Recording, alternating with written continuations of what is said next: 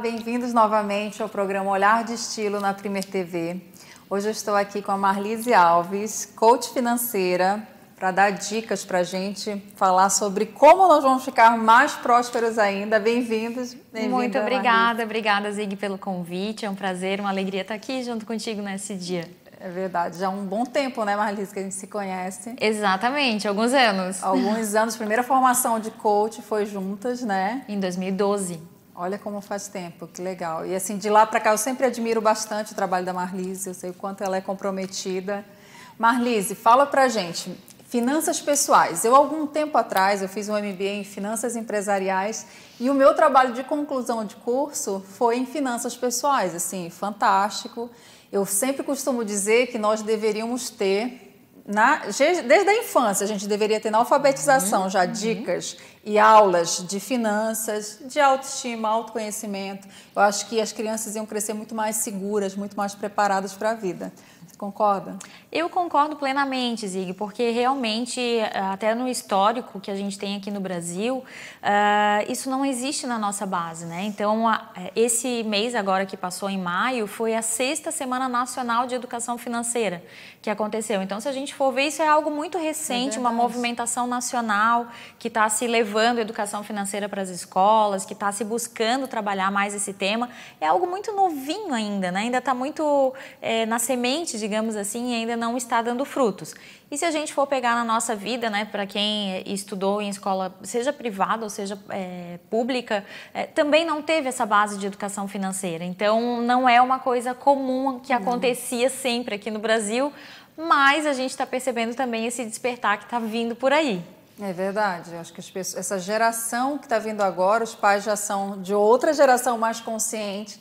Eu acho que a nossa talvez até a tua mesmo, era daquela do porquinho, né? De guardar a moedinha. Era o princípio que a gente tinha de economia. Exato. De guardar as moedinhas ali, porque no final tinha uma recompensa para comprar algo maior, não é? Exatamente. Então esse porquinho, ele vem como uma ideia realmente para ensinar as crianças a, a terem um pouquinho de educação financeira, né?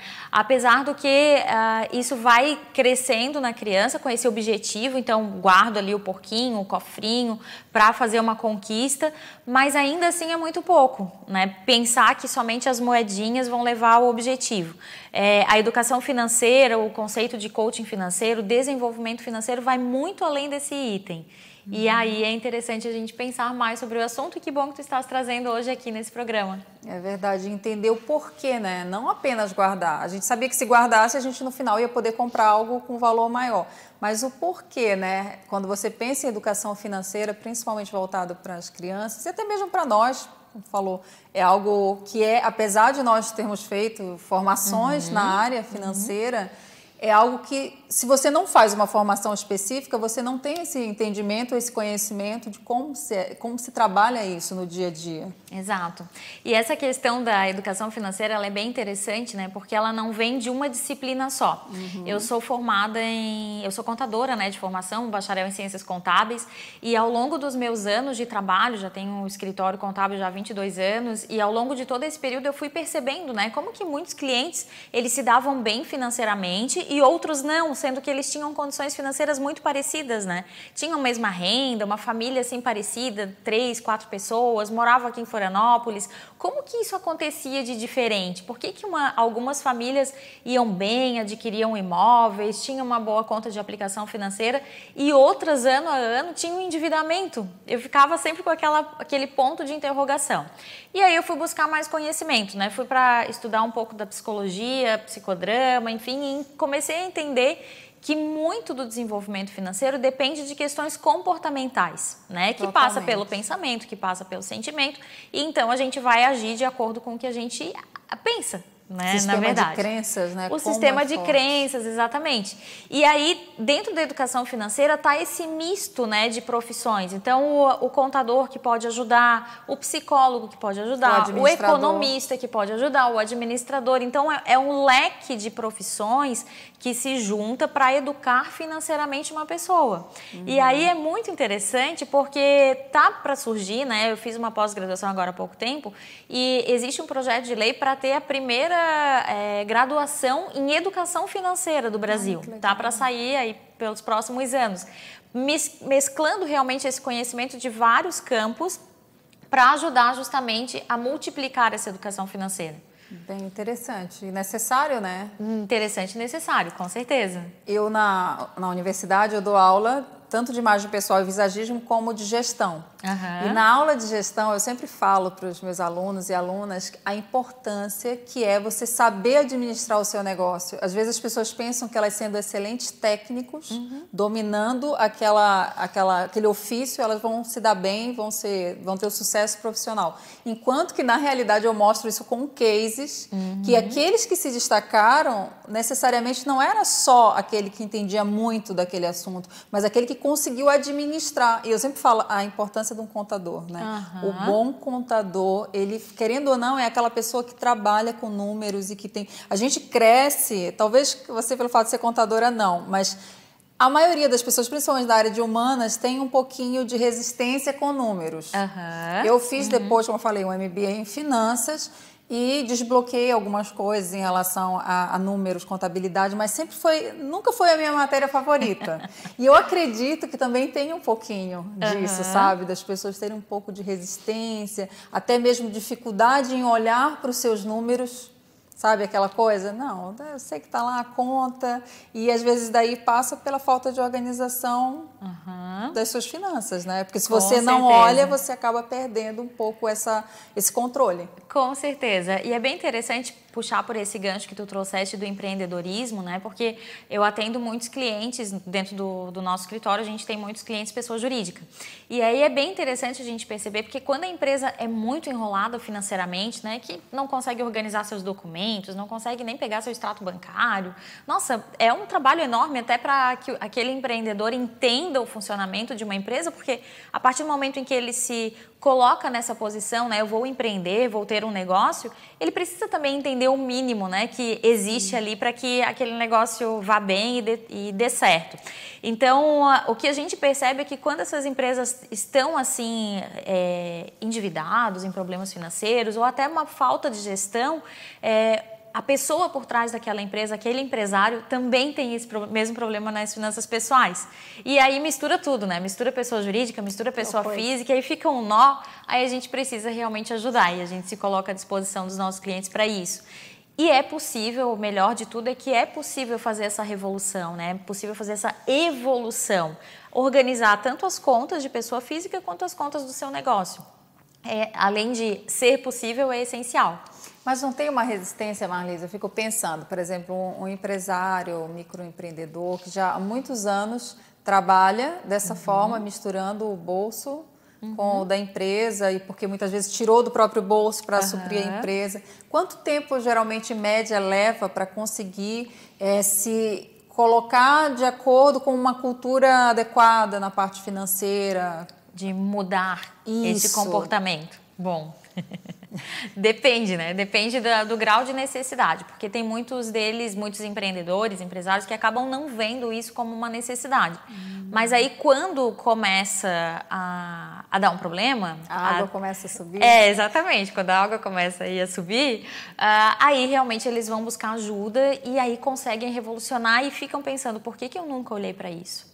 É, tive um caso bem interessante de uma cliente que eu atendi agora há muito pouco tempo, em que ela tinha pavor de olhar os números, né? Ela dizia, não, porque eu não quero olhar os números, porque não, isso daí para mim não.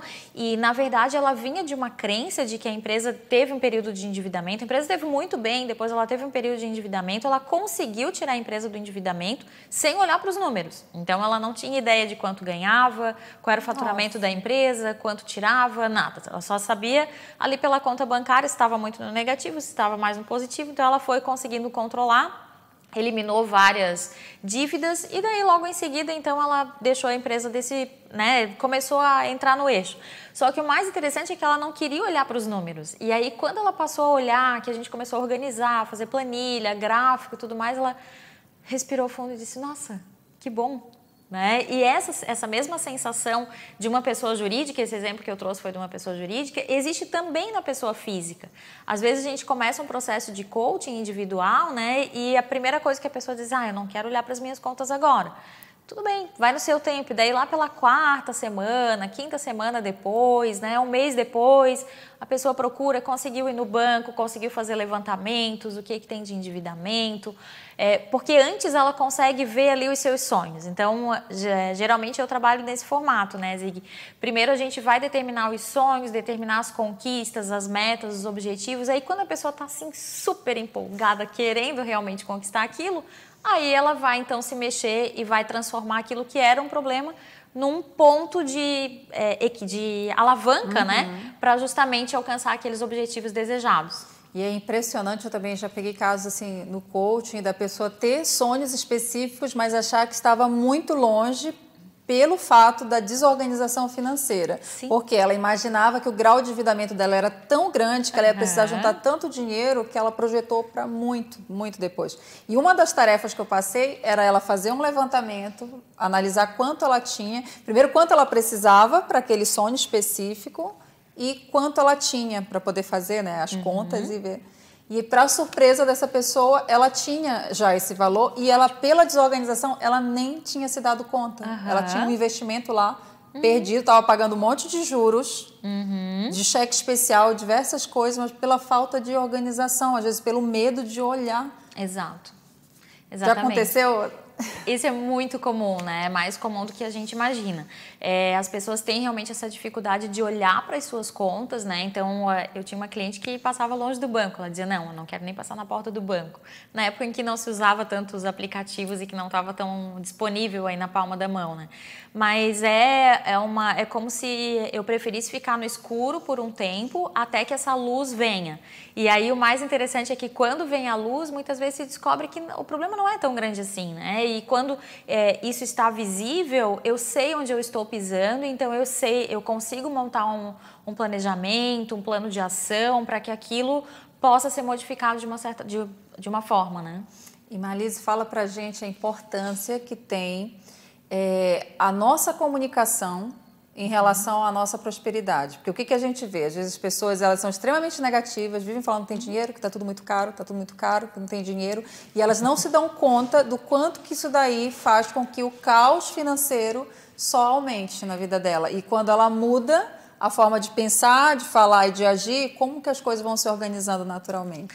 Exatamente. Bom, as crenças elas nos limitam, né? E muitas vezes a gente não se dá conta de que realmente está agindo com aquelas vozes internas que dizem que o dinheiro não traz felicidade, né? Que dinheiro não dá em árvore e todas essas outras crenças lá do passado que a gente ouviu o pai ou a mãe ou um tio ou alguém falando e de uma certa forma a gente está replicando ela até hoje.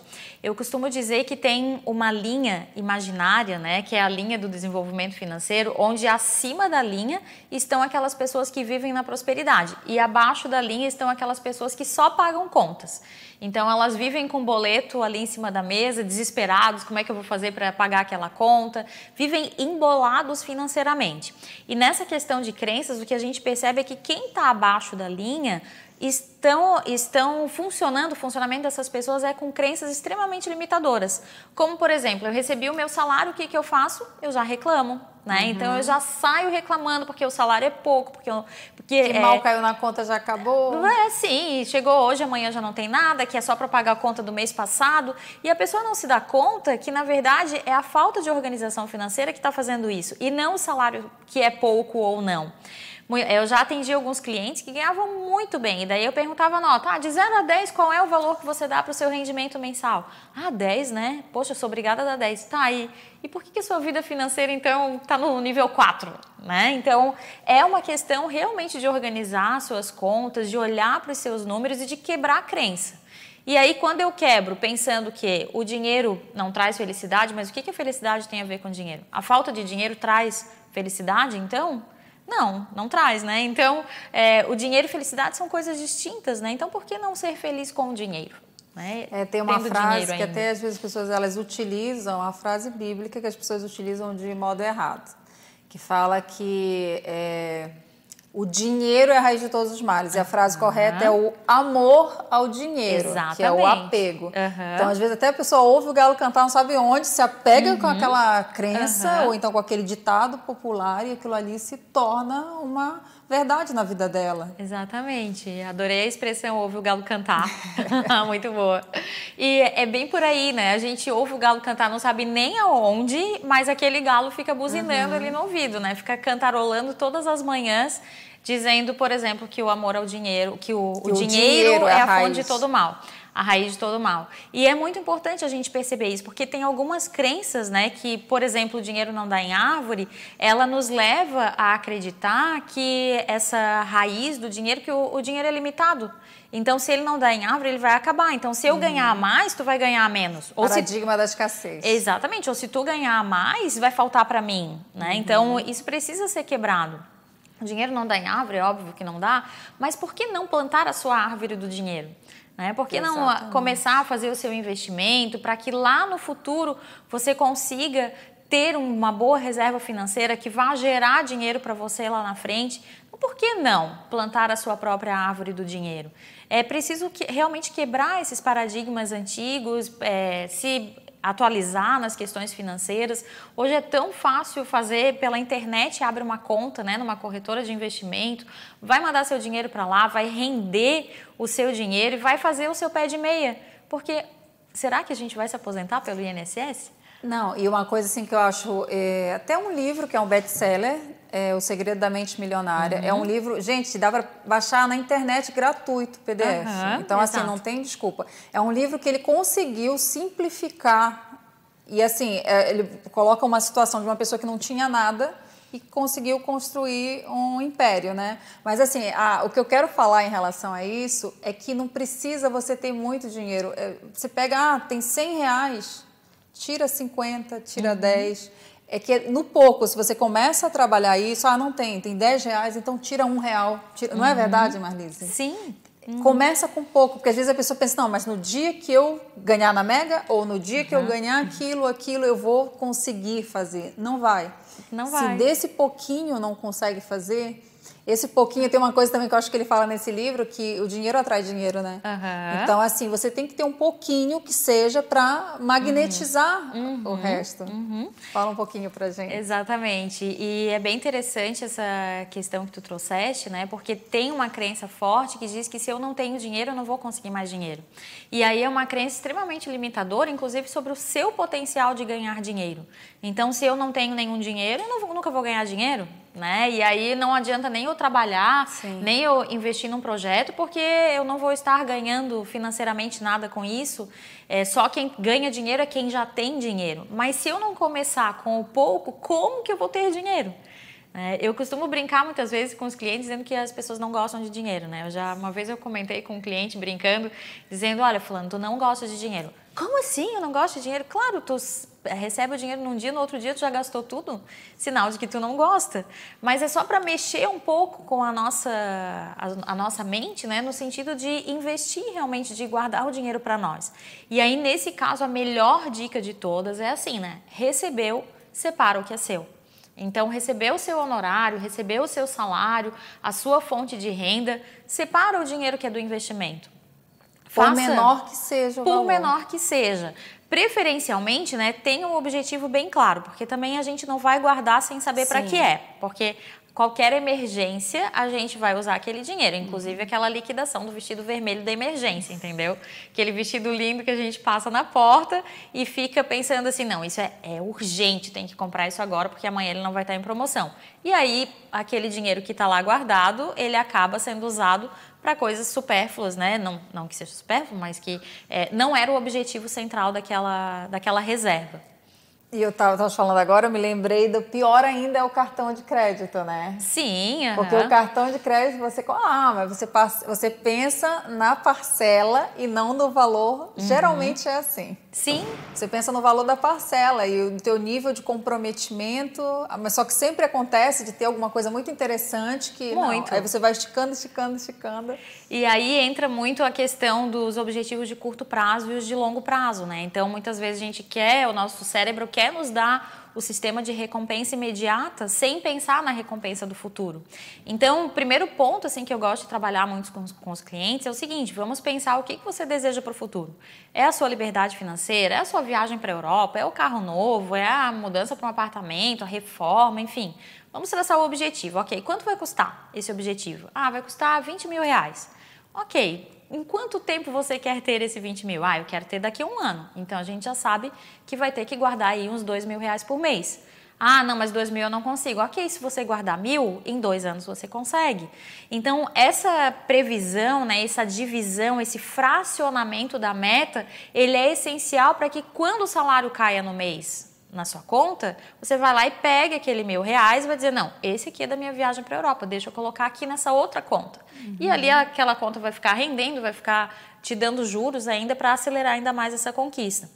Mas é essencial que eu tenha um objetivo, que eu tenha uma meta. E consigo enxergar também, porque eu vejo assim, às vezes a pessoa, eu vejo muito, eu sou totalmente contra aqueles livros, por exemplo, de educação financeira que fala que você tem que cortar tudo. Corta uhum. cafezinho, porque isso no final você vai ter uma recompensa que vai valer a pena. Eu esse, acho que não funciona. Esse é o porquinho que vai contando as moedas. É, que aí chega num ponto, que nem a compulsão, né? Você uhum. chega num ponto, é, quem ah, tá, cortou o doce totalmente, não vai comer uhum. nada de açúcar. Tem pessoas até que conseguem, mas chega num ponto que você coloca um pouquinho de açúcar na boca, você tem vontade de comer uhum. desesperadamente, porque o teu organismo ele sente uma necessidade.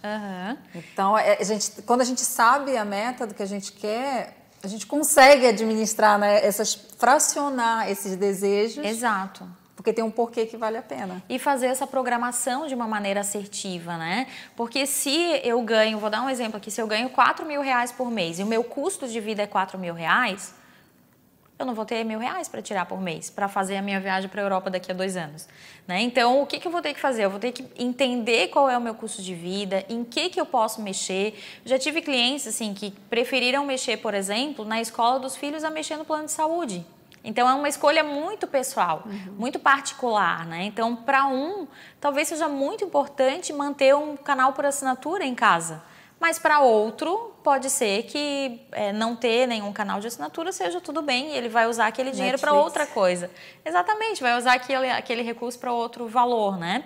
Então, entender o valor pessoal, aquilo que realmente pesa, aquilo que eu não abro mão de jeito nenhum, é muito importante para eu conseguir remanejar essas finanças. Então, se eu consigo ali daqueles 4 mil enxugar o meu custo de vida para 3, isso incluindo cartão de crédito também, né? Sim. Então eu vou conseguir pegar aqueles mil e fazer essa reserva para o meu lazer, para minha a liberdade financeira no futuro, para enfim, para aquilo que eu quero, né? E aí eu vou conquistar sonhos, senão eu nunca vou conquistar meus sonhos. Eu só vou vivendo, pagando contas e vivendo abaixo da linha. E a organização, né? Tem uma frase que eu gosto muito que fala que se você falha em planejar, você planeja falhar.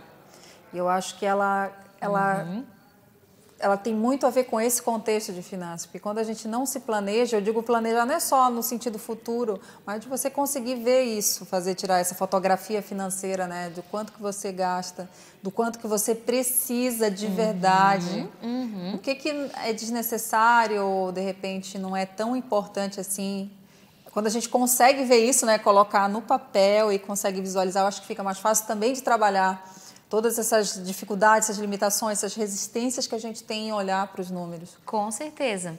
Reinaldo Domingos, da de SOP Educação Financeira, eu concluí agora um curso com ele, e ele traz exatamente isso. Ele diz que toda pessoa consegue enxugar no seu orçamento até 30%.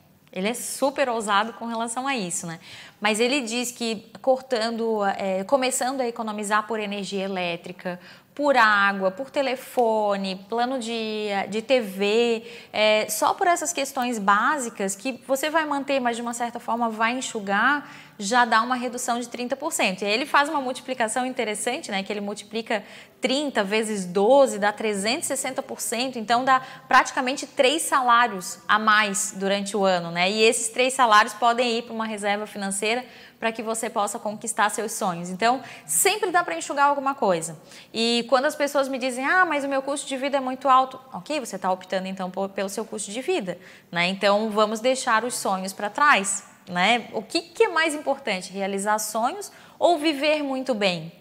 Às vezes a gente desce um pouquinho só no degrau, né, da qualidade de vida, desce um degrauzinho ali, vive um pouquinho mais simples, às vezes muda um, um hábito, muda é, um restaurante, muda uma escolha e aí consegue então essa estar a linha dessa, estar acima dessa linha da prosperidade.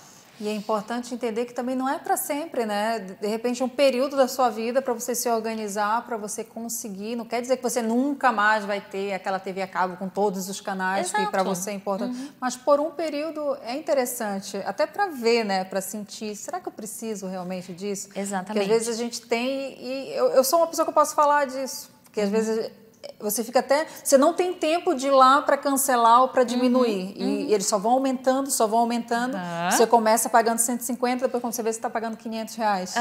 Aí você fica com aquilo, não, mas eu tenho que ir lá cancelar isso, eu tenho que cancelar. E nunca vai, né? E nunca vai, porque nunca tem tempo e você está perdendo dinheiro. E eles estão ganhando em cima disso. São, é, é, bem por aí, né? Tem coisas muito simples do nosso dia a dia que a gente não se dá conta porque está no piloto automático. Então, quando tu tira do piloto automático, segura a direção na tua mão, né, e vai tu mesmo passar a marcha, digamos assim, aí começa a se dar conta. Então, a, muitas vezes a utilização de um aplicativo de contas, né, informando ali diariamente o que, que eu estou gastando, ou uma própria planilha no Google Drive, no Excel, enfim, uhum. ou até um caderninho fazendo as anotações, a pessoa se dá conta e diz assim, opa, peraí, não, isso aqui está muito caro para ficar desligado o dia inteiro.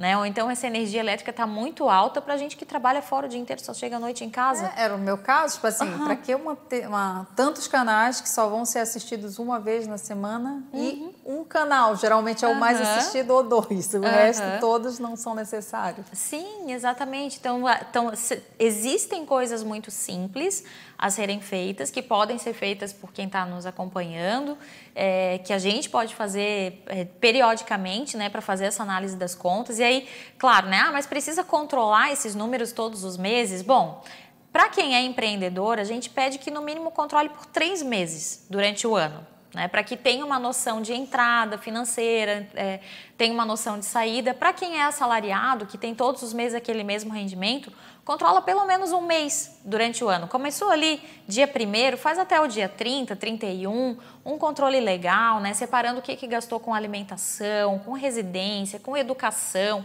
fazendo tudo separadinho para que tenha uma noção de como que tá as suas contas. E aí vai repetir ali daqui a seis meses, daqui a um ano, de acordo com a sua própria necessidade.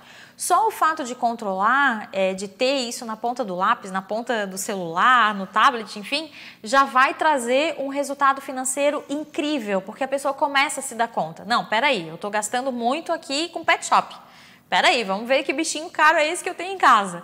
E aí vai estudar se realmente aquela, aquele fornecedor é o ideal, se eu posso levar para menos banhos, né? Se dá para fazer alguma coisa em casa. Enfim, brasileiro é super criativo, né? Sempre tem uma ideia é verdade, boa. É verdade. E também buscar alternativas de aumentar a sua renda, né? Sim. Que as pessoas, às vezes, elas não se dão conta do potencial criativo que elas têm de Exato. fazer e produzir riqueza, uhum. só que elas estão tanto no piloto automático, tão cansadas, que aí chega em casa, liga a TV e deu, e às vezes é um momento que ela pode pensar e produzir muito, né? Essa questão que tu trouxesse eu acho essencial para quem quer realmente ultrapassar essa linha da prosperidade, porque os que estão abaixo da linha, eles estão realmente no fluxo do pagador de conta e talvez no fluxo do porquinho, né? Então tem ali o porquinho, vou economizando ali as moedinhas pequenininhas, mas eu não consigo enxergar além. E eu sempre digo que quem está abaixo quer chegar no zero, então quer ficar no zero a zero. Mas é preciso então observar que existe um caminho maravilhoso para cima, né, de muito potencial, de muitas conquistas e passa exatamente por isso. É possível fazer uma renda extra? Então, muitas vezes tem uma habilidade, tem um talento que as pessoas sempre pedem, ah, faz isso para mim, né? Faz aquele bolo, aquele brigadeiro. E por que não vender? Né? Por que não uhum. aprimorar isso para uma questão de venda? Então, todo mundo tem aí um talento especial que pode é, levar a gerar uma renda extra para justamente fazer as suas reservas, fazer os seus sonhos acontecerem e utilizar esse dinheiro para multiplicação financeira também. E muitas vezes descobrem uma paixão, né? Uma vocação para fazer algo que realmente gosta. Sim. E uhum. se dão muito bem com isso. Exatamente. Então, é Exato. aquela coisa da dificuldade da crise que muitas vezes surgem grandes negócios e grandes empreendimentos que começaram por uma necessidade financeira. Isso que eu sempre digo, gente, dificuldades, eu sempre falo, são oportunidades uhum. disfarçadas. Perfeito. Então, quando a gente consegue enxergar isso, a gente vai longe, não tem ninguém que segure a gente. É verdade. Marlise, uhum. Nós estamos chegando ao final aqui do nosso, Ai, nosso bate-papo sobre esse tempo, né? finanças. Né? É verdade. Obrigada por ter vindo. Eu que agradeço o convite. Muito obrigada. Vamos conversar mais vezes sobre Vamos, finanças, sim. que eu vejo que é muito importante, é muito necessário. A gente sempre está conversando e está trazendo né, essas dicas, esses conhecimentos. Uhum, com certeza. Estou à disposição. É só chamar que eu venho aqui com maior alegria. Obrigada. Hoje nós ficamos por aqui no nosso programa Olhar de Estilo. Semana que vem nós voltamos sempre com um assunto interessante, desenvolvimento pessoal, imagem, comunicação, sempre para buscar elevar a nossa autoestima e nos tornarmos mais autoconfiantes para os desafios da vida.